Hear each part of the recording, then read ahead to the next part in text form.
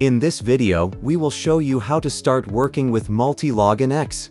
First, on the pricing page, choose a plan that suits you the best, and click on the Get Started button. Create a new account, and log in to the Multilogin X web interface. Choose the survey answers that suit you the best. Then click on the Upgrade button. Select View Plans. Choose a plan that suits you the best, and proceed to the checkout page to finalize your payment. After completing your payment, click the button Open Multilogin X web app to start using it. First, connect to the agent. Click on the Agent Disconnected button. Choose the agent that suits your operating system, and go to the Downloads folder to find the agent file. Double-click on it and follow the on-screen instructions to complete the installation. Then click on Connect Agent. Now the agent is connected. Click on the New Profile button to start creating a profile. Give a name to it, and choose either local storage or cloud storage. And go to Next to set up proxy.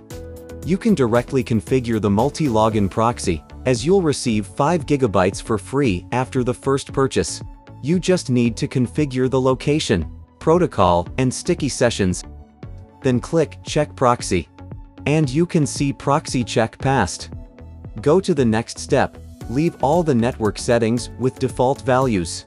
Proceed to the next step, leave all hardware settings at their default values, as these configurations are already optimized to generate the fingerprint. Finally, click on Create. Your first profile is successfully created. Click on the Launch button to open the profile. It will automatically download the browser core upon the first profile launch.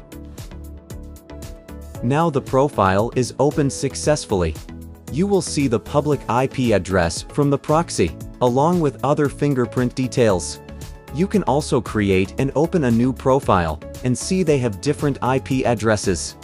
If you want to use profiles automatically via the API, navigate to the API page on the top, and you'll find comprehensive instructions on how to utilize the API. That's all about how to use Multilogin X. You can find the summary of all steps here. Thank you for watching.